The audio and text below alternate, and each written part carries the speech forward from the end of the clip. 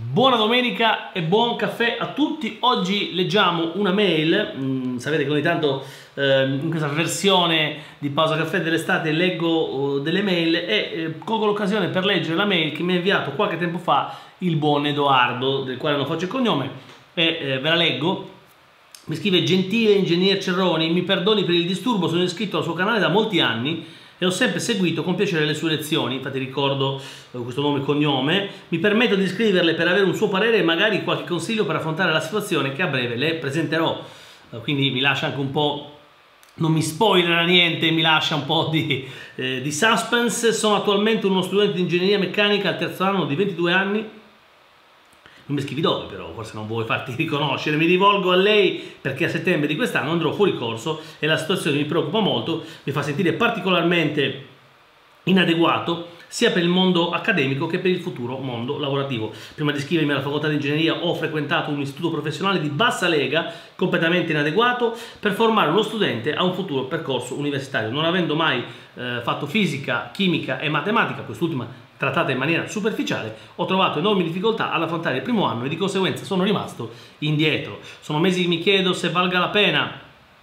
continuare eh, o sto prendendo in giro me stesso. Attualmente ho fatto analisi 1 algebra lineare e geometria, chimica, fisica, disegno metallurgia, informatica, scienza ma dei materiali e analisi 2, capisce bene che non sono messo particolarmente bene, tuttavia ho intenzione di continuare e finire sia perché mi piace come facoltà, ma anche, perché, ma anche per avere un futuro migliore e con maggiori possibilità di crescita. Andare fuori corso mi spaventa e mi rende ansioso, mi vergogno molto della mia condizione e mi deprimo particolarmente a vedere compagni che proseguono serenamente e si costruiscono un futuro con anni di anticipo rispetto a me. Inoltre mi chiedo se la mia laurea avrà un qualche valore, eh, tra parentesi punto a concludere con la magistrale a 27 anni circa, o se le aziende mi scarteranno immediatamente appena vedranno che ho impiegato un po' più di tempo del necessario. Dalla sua esperienza è così? Una laurea in ingegneria conseguita fuori corso e di scarso valore? La ringrazio per il disturbo. Firmato Edoardo e il cognome che ho oscurato, informativa sulla privacy. Eccoci tornati.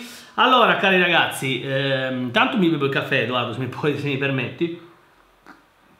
Inizierei a scorporare questo, questa lunga mail nel dettaglio di, di Edoardo. Intanto Edoardo, mh, mm, eh, intanto Edoardo hai 22 anni, il fatto che tu ti sia già fatto un percorso, quindi ehm, all'età di, di, di un'idea di laurearti all'età di 27 anni, questo ti fa onore, quindi diciamo che forse inconsciamente eh, non vuoi lasciare, l'hai anche detto, oh, eh, giustamente eh, ti sei fatto già un percorso. Però attenzione che eh, non metterti magari, ehm, primo consiglio che ti do personalmente, non metterti magari età di 27 anni, mi laureerò a 27 anni, i miei colleghi saranno laureati a 24, 25, sarò scartato. Tutti questi pensieri, francamente, alla tua età così giovane, di 22 anni, io francamente non li farei, non, non li farei perché ehm, ehm, sei al terzo anno...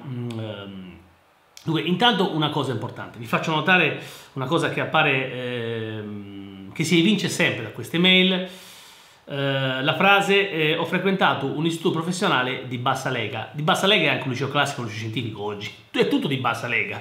Sono di bassa lega eh, eh i programmi, sono di bassa lega i docenti che, eh, adesso offendo tutti, sono di bassa lega i docenti, gli insegnanti che stanno là. Mi dispiace che ci sia qualcuno anche che è un personaggio pubblico su YouTube, non mi riferisco al, uh, al professor Chettini evidentemente che è un bravissimo professore, ma la maggior parte degli insegnanti a scuola sono dei cani, Posso, si può dire questo?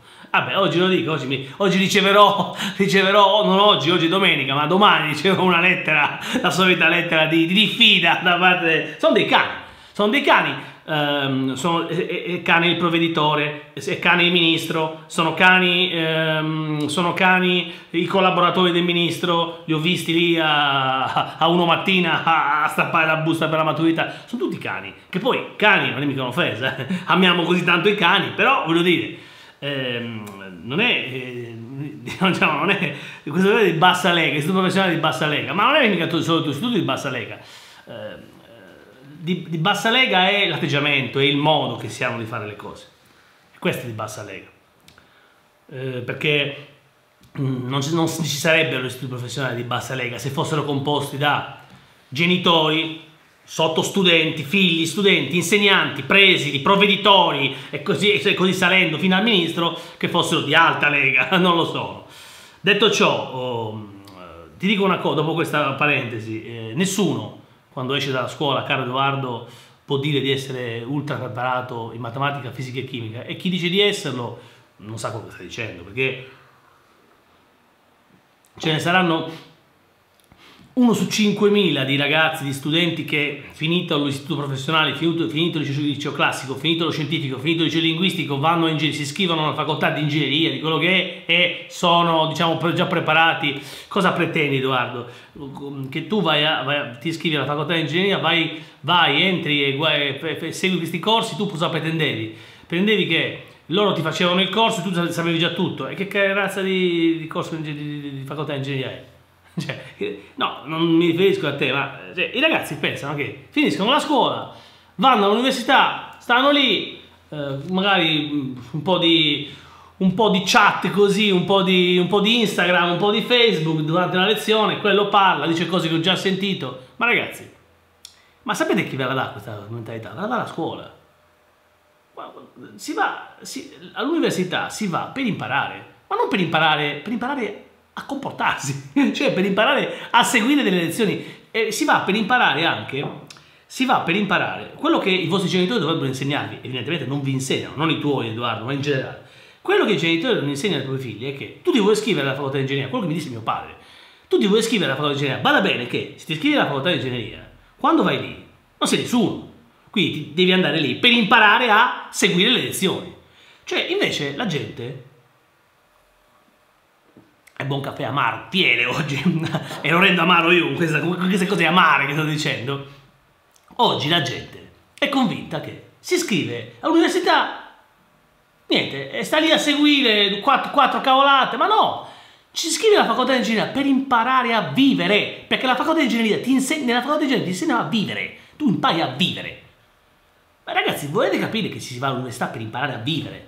Non si va all'università per, per, per, come si va in panetteria, panetteria che faccio? Vado, prendo due rosette, tre michette, eh, quattro panini, me la vado a casa. No, non è così, non è così, non è così ragazzi, non è così. Cioè, ci si scrive...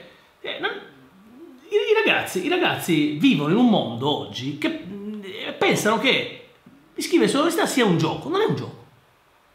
Non è una cosa, non è, ci, ci si fa proprio per imparare a vivere, a studiare, a, come si può pretendere di arrivare lì già? Voi mi direte, sì, ma poi però eh, pretendono che noi siamo già pronti per il lavoro subito dopo, dopo 4-5 anni. Ma quegli anni, quegli anni di, di, di, di, praticantato dove ti insegnano alimentare... Io, io, io, personalmente, tu mi, mi fai l'esempio di... Io le cose le ho imparate lì.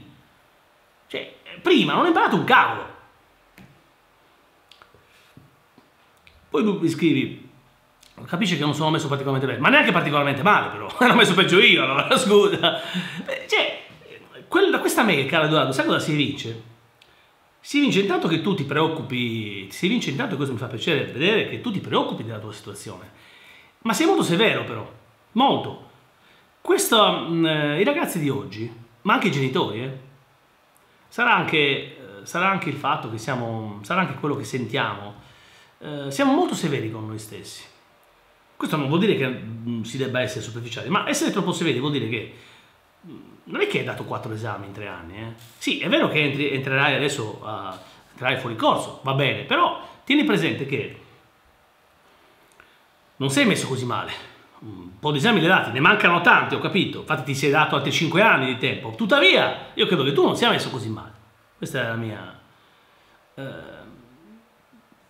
credo che questa mail debba essere incorniciata eh, proprio per, per, per, dipingere, per delineare la situazione di questo mondo di oggi, dove, dove ci sono i ragazzi che ehm, non accettano nemmeno un po' di ritardo, un po' di... Eh, bello perché io per esempio sono uno che sono puntuale e la gente non viene mai puntuale, Quindi, però i ragazzi, i ragazzi sembra, se, se, da questa mail si dice che i ragazzi sembra quasi che ogni minima difficoltà, ogni minima c'è il problema esaminiamo il problema. Ci può essere un problema, certo. Tu dici, i miei colleghi vanno avanti, io rimango indietro. Sì, ma bisogna vedere come però.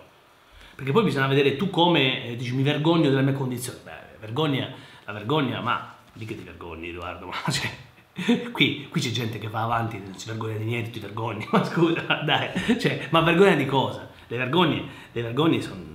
Adesso non è per... Le vergogne, le vergogne sono, sono altro. E qui ce n'è tanta di vergogna, eh. Se io dovessi elencare, no? Qualcuno mi dice, ma come ti permette? Se dovessi elencare le vergogne vere, le vergogne vere, le vergogne vere, sono altre le vergogne vere. Da rimanere con gli occhi strabuzzati così per un'ora consecutiva. Le, le vergogna, vergogna per cosa? Mi rende ansioso. Devi stare calmo, bisogna stare calmi. Te lo dico io che in questo momento, mm, non ti nascondo, non vivo una situazione facile, anch'io, vi, nessuno vive una situazione facile in questo momento, per una serie di ragioni, fatti personali, però bisogna stare calmi. Bisogna svegliarsi la mattina ogni giorno e dire, eh, mi rimbocco le maniche e vado avanti non ci possono essere i periodi sempre.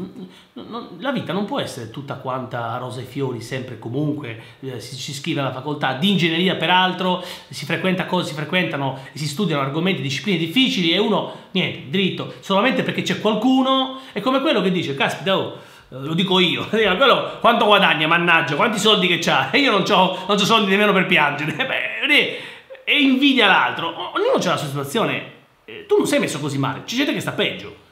Tu dirai, è un po', è un po una, una, consolazione, un po' del disperato. Sì, però non credo che laurearsi a 27 anni significhi che le aziende ti scarteranno immediatamente. Intanto, ehm, una, intanto, intanto laureati. Eh, qualcuno avrebbe detto, intanto ti laurei. Discuti la tesi, decidi poi eh, e, e, e nell'anno in cui magari, nell'anno in cui ti stai laureando cominci a guardare attorno. Tanto farai un tirocinio, fare un praticantato e vedi un attimo, se non è un'azienda, magari uno studio, chi ti scatta? Scatta nessuno. L'azienda capiscono niente, l'azienda. Cioè, adesso, le aziende non capiscono niente, le aziende ti scattano. La gente, eh, la gente, Edoardo, sai quanta gente superficiale c'è a capo delle aziende oggi? Non tutti, eh, però sai quanta gente c'è? Io ho a che fare con gente che pensa di sapere niente, no? Quanti elettricisti che non sanno niente, no, scherzare. Quanti, quanti periti che non sanno. No, beh, gente pensa di sapere, sa niente magari gente pensa di sapere, non sa niente. Quindi non, non, non te la fare così, non ti fare così sangue amaro. Dalla mia esperienza non è così. La mia esperienza, uh, la mia esperienza mi ha insegnato a, nel mio lavoro, nel lavoro, pensa, guarda, concludo.